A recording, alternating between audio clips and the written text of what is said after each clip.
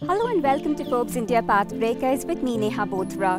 From making steering wheels to now emerging as one of the few global companies to have the expertise to design high-tech EV systems, we'll take you inside Sona Comstar's story.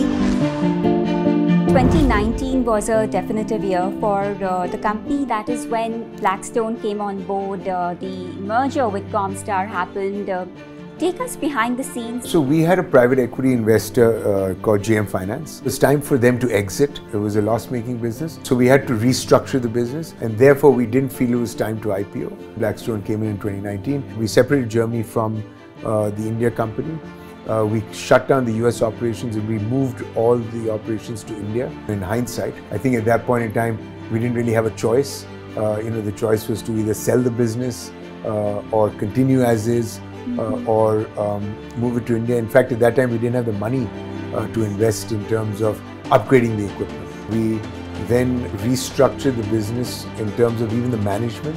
And when Blackstone came in, I had the opportunity to move from manager to owner. And that's when we brought Comstar into the fold because Blackstone had acquired Comstar before they came into a partnership with us. That's how the birth of Sona Comstar from Sona BLW. I owned 65% of the business when it was Sona BLW. Blackstone came in and bought about 30 32% from GM Finance. They bought their uh, stake, and once we bought Comstar from them, they owned 65 and I owned 35.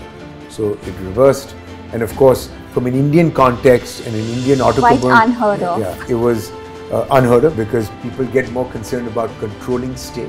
However, you know what I saw in it was you know, we'll be able to build a business which will be much, much larger than it is today. Stay tuned. I am Neha Bothra.